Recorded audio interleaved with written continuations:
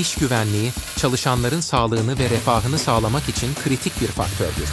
Özellikle tozlu, kimyasal maddelerle dolu veya zararlı partiküllerin bulunduğu iş ortamlarında çalışırken, uygun kişisel koruyucu ekipmanların kullanılması hayati öneme sahiptir.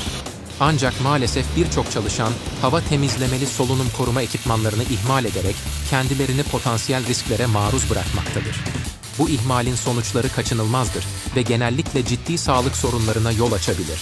İlk olarak solunum koruma ekipmanlarını kullanmamak solunum yolu hastalıklarına karşı savunmasızlığı artırır. Toz, duman ve kimyasal partiküllerle dolu bir ortamda solunum yapmak akciğerlerde ciddi hasarlara neden olabilir. Uzun vadede solunum yolu hastalıkları ve solunum yetmezliği gibi sorunlar ortaya çıkabilir. Ayrıca solunum koruma ekipmanlarını kullanmamanın kısa vadeli etkileri de dikkate alınmalıdır. Baş ağrıları, baş dönmesi ve bulanık görüş gibi semptomlar zararlı partiküllerle temasın bir sonucu olarak ortaya çıkabilir.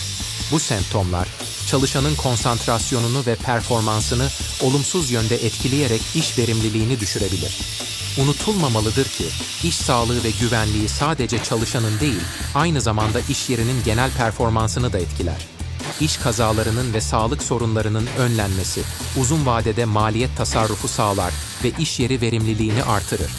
Sonuç olarak hava temizlemeli solunum koruma ekipmanlarının ihmal edilmesi hem çalışanın sağlığını hem de iş yerinin genel güvenliğini riske atar.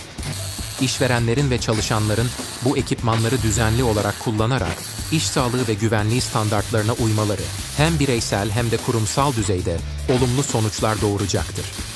Unutmayın, sağlığınız ve güvenliğiniz sizin en değerli varlığınızdır.